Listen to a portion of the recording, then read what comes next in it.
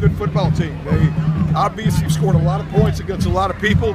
Uh, we hurt ourselves not getting the ball in the end zone when we had that opportunity in the third quarter, but you got to credit them for playing good defense. So it was a, a really competitive game, a competitive district game. That's what we anticipated coming in. Well, when you jumped out early, did you think, uh oh, this is going to go downhill quick, or what? Uh, you, you know, we can't. Doesn't make any difference whether we did or didn't. We've got to continue to maintain our intensity, and we got to maintain our intensity through four quarters. They did. We have to. Coach, what- And, and I thought we did that too. Coach, what positives can you take away from this game? Because you come out strong, and then it's kind of a down part, but you come out strong in that third that third quarter, and then you finish strong in the fourth. Don't quit.